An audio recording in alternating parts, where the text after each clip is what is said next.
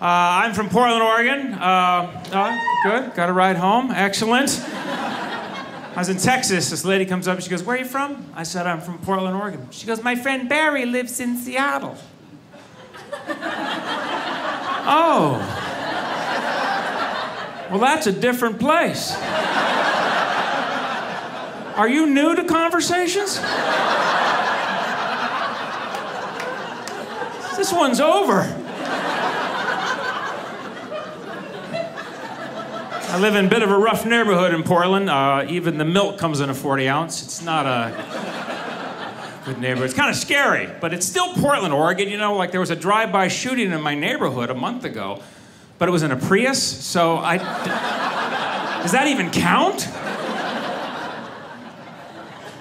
I love traveling. I was in New Orleans. Flew into the Louis Armstrong International Airport. I think that's cool they named the airport after that. I wonder if they'll do that in the future with other musicians. You'll be flying along in 50 years. Ladies and gentlemen, we're about to land at Snoop Dogg International Airport. Please put your weapons in the overhead compartment. We apologize for being diverted from the Miley Cyrus International Airport due to consistently mediocre performances. Many of you wondering why we're circling the Grateful Dead International Airport for seven and a half hours. That's when I realized it's not about the destination, it's about the journey, man. Saw my dad, he turned 75, very proud of him. He's seven. You can tell my dad is now in his 70s because he yawns and talks at the same time. Drives me nuts. He'll be chatting along. We took the car down the 6th Street and down the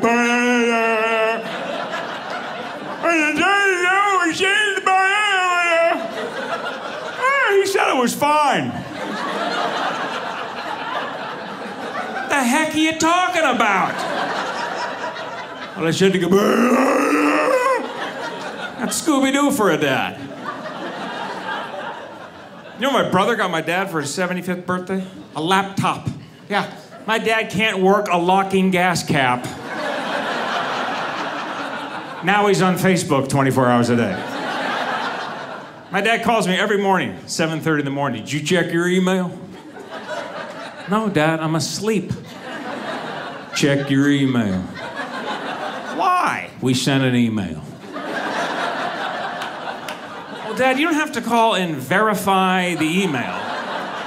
You're creating twice the technological work for yourself. You just check that email. I check it, what does it say? Call me when you get this.